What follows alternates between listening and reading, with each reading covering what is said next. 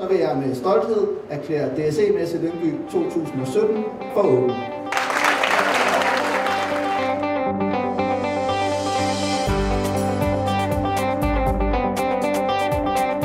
DSE er en øh, frivillig studenterorganisation, hvis overordnede formål er at skabe kontakt mellem virksomhederne og øh, de studerende. Messen er en fantastisk mulighed for ligesom at få udbygget sit netværk.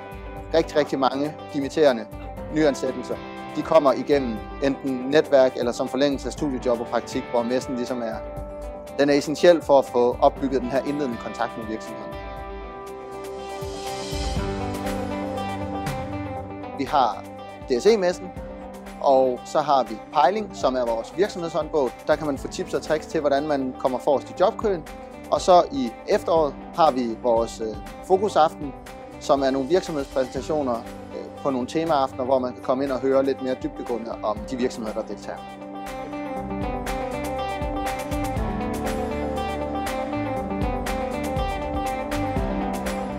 Ramvel er her i dag selvfølgelig mest alt for at snakke med de studerende. For os er det en god måde at komme ud og tage pulsen på, hvad de studerende går rundt og tænker på, hvad for nogle projekter de gerne kan tænke sig at komme ud og arbejde med, når de er færdige.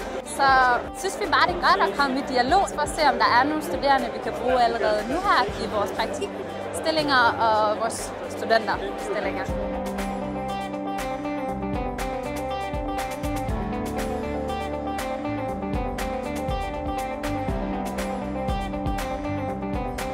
Vi er, fordi vi gerne vil prøve at finde nogle af de virksomheder, som vi ikke kender i forvejen. Vi kender de der store virksomheder inden for, nu læser vi kemi, øh, men vi kan ikke søge et job, hvis vi ikke kender virksomheden. Jeg synes, vi har snakket med en del virksomheder, ja. som jeg ikke kendte i forvejen, og vi har også, det er også gået op for mig i hvert fald, at der er nogle steder, som godt kan bruge kemikere, som jeg ikke vidste lige kunne bruge kemikere. Vi har over 160 deltagende virksomheder, hvilket gør os til Danmarks største job- og karrieremesse. Så derfor er messen en fantastisk mulighed for ligesom at få opbygget den her indledende kontakt med virksomheden.